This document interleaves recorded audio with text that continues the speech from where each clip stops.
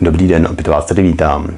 Věděli jste, že brusný a řezní kotouče do uhlový brusky nebo do flexy, záleží zase, jak chcete, mají svůj datum spotřeby nebo datum použitelnosti. A vlastně proč tomu tak je? Tak pokud vás to zajímá, podíváme se na to v dnešním videu. Jdeme na to.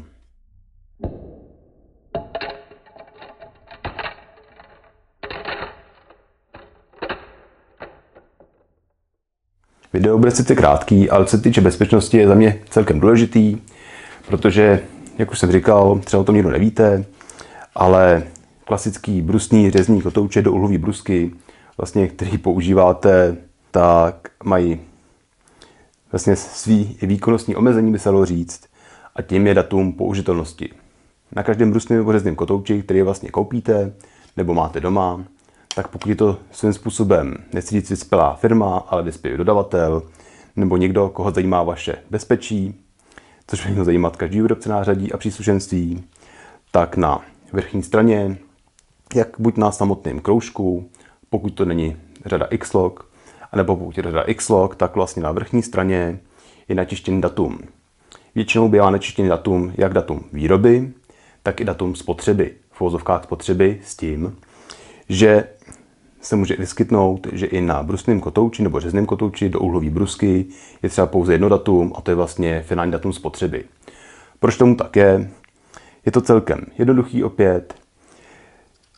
Složení kotouče je vlastně, budeme to brát trošku laicky, je směs materiálu, který hřežou nebo brousej a ta směs je vlastně nějakým způsobem spojená je to většinou spojené nějakou pryskyřicí nebo různýma chemickými přípravkama, vesně to pryskyřice, která po určitý době vlastně dozraje a její pružnost a ty mechanické vlastnosti, aby ten kotouč držel. A třeba se vám, když třeba špatně zaříznete a kotouč se vám někde trošičku kousne, tak se kotouč nerozletěl a furt držel vlastně pohromadě, tak vlastně tady ty všechny mechanické vlastnosti zaručují to, té pryskyřice toho pojiva, aby ten kotouč držel pohromadě. A jak časem vlastně ta pryskyřice nebo to pojivo stárne, tak přestává držet vlastní mechanické vlastnosti a proto je uveden datum spotřeby na kotouči, aby se vlastně pak už nepoužíval.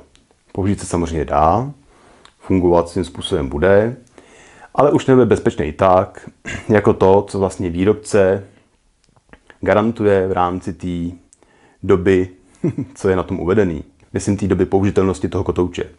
Samozřejmě neznamená, že pokud se k tomu budete chovat jako tak, jak byste neměli k tomu kotouči, eh, ten kotouč není nesmrtelný, i když bude v vozovkách nejnovější, prostě je to o určitý bez urážky gramotnosti a prostě nějakého přístupu k té práci. Ale prostě ten kotouč by měl mít zaručený ty nejlepší vlastnosti, tak, jak byl konstruovaný. Pokud překročíte to datum, bohužel kotouč už vlastně, nechci říct, umírá, ale ty vlastnosti nemá a stává se nebezpečný.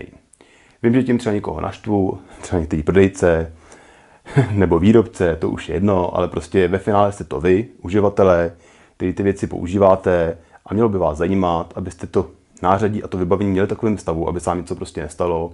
A zase jste opět eliminovali jakýkoliv možný průšvih nebo nebezpečí, který byl vlastně ze starého a v vozovkách přezrálého kotouče, brusního kotouče, řezního kotouče, to už jedno mohlo vzniknout. Takže koukejte, čtěte a rozhodně je to jedna zase z věcí, o kterých třeba někdo z vás neví a budete brát jako zase radu nebo drobnou informaci pro vaše další kutění. Vím, že to bylo video krátký, přesto si nemyslím, že nebylo tak důležitý. Rozhodně se jedná o bezpečnost a to je v dílně pokaží na prvním místě. Mám tady celkem teď velkou rozpracovanost v dílně, takže další projekty už se chystají, další videa se samozřejmě taky chystají, takže na co se těšit. Jako vždycky nezbývá se rozloučit a u dalšího videa se těším na schanou. Děkuji za sledování a váš čas, mějte se.